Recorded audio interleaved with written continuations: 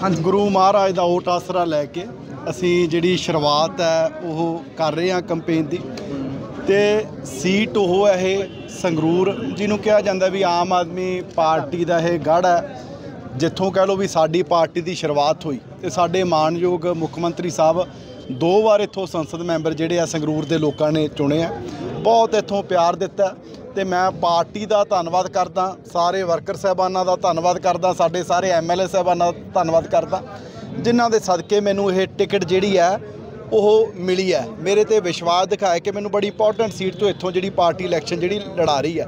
ਸੋ ਬਾਕੀ ਮੈਨੂੰ ਅੱਜ ਬੜੀ ਖੁਸ਼ੀ ਹੈ, ਬੜਾ ਚਾਅ ਹੈ ਕਿ ਅੱਜ ਸਾਡੇ ਸਾਰੇ ਹਲਕਿਆਂ ਤੋਂ ਜਿਹੜੇ ਵਰਕਰ ਸਾਹਿਬਾਨ ਨੇ, ਸਾਡੇ ਐਮਐਲਏ ਸਾਹਿਬਾਨਾਂ ਦੇ ਨਾਲ ਭੈਣ ਨਰਿੰਦਰ ਕੌਰ ਭਰਾ ਜੀ ਲਾਭ ਹੁੱਗੂ ਕੇ ਜੀ ਇੱਥੇ ਪਹੁੰਚੇ ਆ ਬਾਕੀ ਐਮਐਲਏ ਸਾਹਿਬਾਨ ਅੱਗੇ ਆ।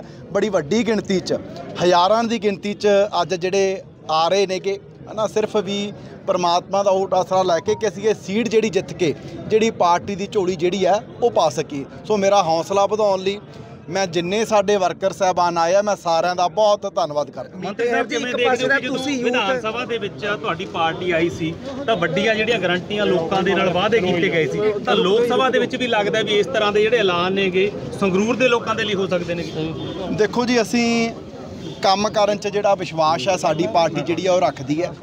2 ਸਾਲ ਸਾਨੂੰ ਸੱਤਾ ਚ ਆਇਆਂ ਨੂੰ ਹੋ ਗਏ ਆ ਤੇ 2 ਸਾਲ ਦਾ। ਮੈਂ ਨਹੀਂ ਕਹਿੰਦਾ ਵੀ ਭਾਈ ਅਸੀਂ ਸਾਰਾ ਕੁਝ ਕਰਤਾ। ਪਰ ਤੁਸੀਂ 2 ਸਾਲ ਦਾ ਅਨਾਲਿਸਿਸ 2 ਸਾਲ ਦਾ ਕੰਪੈਰੀਜ਼ਨ ਸਾਡੀ ਸਰਕਾਰ ਦਾ ਤੇ ਜਿਹੜੀ ਇਸ ਤੋਂ ਪਹਿਲਾਂ ਕਾਂਗਰਸ ਦੀ ਰਹੀ 17 ਤੋਂ ਲੈ ਕੇ 19 ਤੱਕ ਉਹਨਾਂ ਦਾ ਤੇ ਉਦੋਂ ਪਹਿਲਾਂ ਅਕਾਲੀ ਦਲ ਦੋ ਦਫਾ ਰਿਹਾ, ਉਹਨਾਂ ਸਾਰਿਆਂ ਦਾ 2 ਸਾਲ ਦਾ ਕੰਪੈਰੀਜ਼ਨ ਜੇ ਕਰਨਾ ਹੋਵੇ, ਤਾਂ ਕੋਈ ਵੀ ਪਾਰਟੀ ਆਮ ਆਦਮੀ ਪਾਰਟੀ ਦੇ ਨੇੜੇ ਤੇੜੇ ਟਿਕਦੀ। ਹਾਂ, ਠੀਕ ਹੈ, ਵਿਰੋਧੀਆਂ ਨੇ ਭੰਡਣਾ, ਉਹਨਾਂ ਨੇ ਭੰਡਣਾ ਹੀ ਹੈ ਕਿਉਂਕਿ ਉਹਨਾਂ ਨੇ ਵੀ ਲੋਕਾਂ ਦੇ ਵਿੱਚ ਜਾਣਾ ਹੁਣ ਸਾਡੀ ਤਾਰੀਫ ਕਰਕੇ ਤਾਂ ਜਾ ਨਹੀਂ ਸਕਦੇ। ਮੈਂ ਵਿਧਾਨ ਸਭਾ 'ਚ ਵੀ ਗੱਲ ਕਹੀ ਸੀ, ਪ੍ਰਤਾਪ ਬਾਜਵਾ ਜੀ ਨੇ ਉੱਥੇ ਕਿਹਾ ਵੀ ਸਾਨੂੰ ਜਿਹੜੀ 40000 ਨੌਕਰੀ ਆ, ਉਹਦੀ ਲਿਸਟ ਜਿਹੜੀ ਆ, ਉਹ ਦਿਓ। ਤੇ ਉਸ ਤੋਂ ਬਾਅਦ ਤਾਂ ਮੁੱਖ ਮੰਤਰੀ ਸਾਹਿਬ ਨੇ 2500 ਨੂੰ ਹੋਰ ਦੇ ਦਿੱਤੀ, ਤਕਰੀਬਨ 42000 ਤੋਂ ਉੱਪਰ ਹੋਗੀ ਮੈਂ ਕੱਲ ਚੀਮਾ ਸਾਹਿਬ ਨੂੰ ਵੀ ਕਿਹਾ, ਮੈਂ ਕਿਹਾ ਜੀ ਆਪਾਂ ਆਪਣੀ ਵੀ ਜਨਤਕ ਜ਼ਰੂਰ ਕਰੋ, ਪਰ ਉਹਦੇ ਨਾਲ ਨਾਲ ਪਿਛਲੀਆਂ ਚਾਰ ਸਰਕਾਰਾਂ ਦੀਆਂ ਵੀ ਪਹਿਲੇ 2 ਸਾਲ 'ਚ ਕਿੰਨੀਆਂ ਸਰਕਾਰੀ ਨੌਕਰੀਆਂ ਦਿੱਤੀਆਂ, ਆਪਾਂ ਉਹ ਵੀ ਜਨਤਕ ਕਰੀਏ। ਕਿਉਂਕਿ ਹਰ ਕੰਮ ਆਮ ਤੌਰ ਤੇ ਪੰਜਾਬ 'ਚ ਸਰਕਾਰਾਂ ਜਾਣ ਲੱਗੀਆਂ ਕਰਦੀਆਂ ਸੀ। ਜਦੋਂ ਪਤਾ ਹੁੰਦਾ ਨਾ ਵੀ 4 ਮਹੀਨੇ ਲੱਗ ਕੇ ਕੋਡ ਲੱਗਣ 'ਚ 6 ਮਹੀਨੇ ਰਹਿ ਕੋਡ ਲੱਗਣ 'ਚ, ਉਦੋਂ ਕੰਮ ਜਿਹੜੇ ਆ ਯਾਦ ਆਉਂਦੇ ਆ ਆ ਕਿੰਨੇ ਮੁਲਾਜ਼ਮ ਖੜੇ ਆ, ਮੈਂ ਹਰ ਸਟੇਜ ਤੋਂ ਕਹਿਣਾ ਸਰਕਾਰੀ, ਇਹਨਾਂ ਦੀ ਬਹੁਤਿਆਂ ਦੀ ਭਰਤੀ 11 ਦੀ ਹੈ ਕਿਉਂਕਿ 12 'ਚ ਵੋਟਾਂ ਸੀ 16 ਦੀ ਭਰਤੀ ਆ 17 'ਚ ਵੋਟਾਂ ਸੀ 21 ਦੀ ਭਰਤੀ ਹੈ ਕਿਉਂਕਿ 22 ਚ ਵੋਟਾਂ ਸੀ। ਅਸੀਂ ਪਹਿਲੇ ਸਾਲ ਦੇ ਵਿੱਚ ਸਰਕਾਰੀ ਨੌਕਰੀਆਂ ਦੇਣੀਆਂ ਸ਼ੁਰੂ ਕੀਤੀਆਂ, ਉਵੇਂ ਹੀ ਅਸੀਂ ਕੱਚੇ ਮੁਲਾਜ਼ਮਾਂ ਨੂੰ ਪੱਕਾ ਕਰਨ ਵਾਲਾ ਵੀ, ਕੱਚੇ ਟੀਚਰ ਅੱਜ ਕਿੰਨੇ ਨੇ ਜਿਹੜੇ ਪੱਕੇ ਹੋ ਕੇ ਸਕੂਲਾਂ ਦੇ ਵਿੱਚ ਪੜ੍ਹਾ ਰਹੇ ਆ।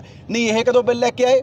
ਅਕਾਲੀ ਜਾਂਦੇ ਹੋਏ ਕੋਡ ਲੱਗਣ ਤੋਂ 2 ਦਿਨ ਪਹਿਲਾਂ 16 ਚ ਲੈ ਕੇ ਆਏ। ਆਈ ਕਾਂਗਰਸੀ 2021 ਚ ਲੈ ਕੇ ਆਏ। ਉਹਦੇ ਬੈਨਰ ਵੀ ਲਵਾਤੇ ਵੀ ਪੱਕੇ ਕਰਤੇ, ਕਿਉਂਕਿ ਪਤਾ ਹੀ ਹੁੰਦਾ ਵੀ ਉਹ ਕੋਡ ਦੇ ਵਿੱਚੋਂ ਸਟੇ ਹੋ ਜਾਣਾ ਸੀ। ਪਰ ਅਸੀਂ ਪੂਰੀ ਉਹਦੇ ਤੇ ਸਟੱਡੀ ਕਰਕੇ, ਪੂਰੀ ਕਮੇਟੀ ਬਣਾਈ ਔਨਸਰ ਬਣਾਈ ਤੇ ਇੱਕ ਇੱਕ ਕਰਕੇ ਜਿਹੜੇ ਕੱਚੇ ਮੁਲਾਜ਼ਮ ਪੱਕੇ ਕਰਨੇ ਸ਼ੁਰੂ ਹੋ ਰਹੇ ਆ। ਤੇ ਸਭ ਤੋਂ ਵੱਡਾ, ਹੋਰ ਕੋਈ ਸਰਕਾਰ ਹੋਵੇ ਬਿਜਲੀ ਵਾਲਾ ਸੀ ਜਿਹੜਾ ਇਵਨ ਮੈਂ ਕਹਿਣਾ ਵੀ ਮੀਡੀਆ ਦੇ ਲੋਕਾਂ ਨੂੰ ਵੀ ਲੱਗਦਾ ਸੀ ਵੀ ਇਹ ਯਾਰ ਸਰਕਾਰ ਨੇ ਕਰਤਾ ਦਿੱਤਾ, ਪੈਸਾ ਬਹੁਤ ਜ਼ਿਆਦਾ ਲੱਗਣਾ ਵੀ ਇਹ ਵੋਟਾਂ ਦੇ ਨੇੜੇ ਜਾ ਕੇ ਪੂਰਾ ਕਰਨਗੇ। ਅੱਜ 600 ਯੂਨਿਟ ਜਿਹੜੀ ਹੈ, ਪੰਜਾਬ ਦੇ 90% ਲੋਕਾਂ ਨੂੰ ਮਿਲ ਰਹੀ ਹੈ। ਉਹ ਇਹ ਕੋਈ ਪੱਖਪਾਤ ਨਹੀਂ ਵੀ ਭਾਈ ਉਹ ਅਕਾਲੀਆਂ ਨੂੰ ਨਹੀਂ ਮਿਲਦੀ ਜਾਂ ਕਾਂਗਰਸੀਆਂ ਨੂੰ ਮਿਲਦੀ ਕਲੇ ਝਾੜੂਆਂ ਨੂੰ ਤੇ ਸਾਰਿਆਂ ਦੇ। ਇਵਨ ਮੈਂ ਕਹਿਣਾ, ਬਹੁਤੇ ਐਮਐਲਏ ਹਾਲਾਂਕਿ ਇਹਨਾਂ ਦੇ ਜਿਹੜੇ ਕਾਂਗਰਸੀ ਅਕਾਲੀ ਨੇ, ਜਿਹੜੇ ਸਾਬਕਾ ਮੰਤਰੀ ਨੇ, ਬਹੁਤ ਵੱਡੇ ਘਰਾਣਾ ਨਾਲ ਸੰਬੰਧ ਰੱਖਦੇ ਆ, ਬਹੁਤ ਪੈਸਾ ਉਹਨਾਂ ਕੋਲੇ, ਪਰ ਮੈਂ ਸ਼ਰਤ ਲੈ ਕਹਿਣਾ ਸਰਦੀਆਂ ਵਾਲੇ ਦੋ ਚਾਰ ਬਿੱਲ ਉਹਨਾਂ ਦੇ ਵੀ ਜ਼ੀਰੋ ਆਏ ਹੋਣ।